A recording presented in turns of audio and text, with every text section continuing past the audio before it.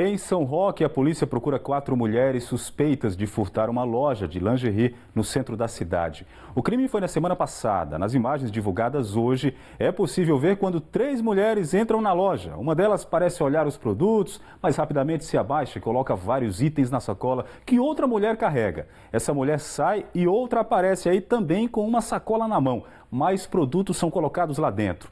Todas saem sem que nenhum funcionário perceba o furto. Os responsáveis pela loja registraram boletim de ocorrência.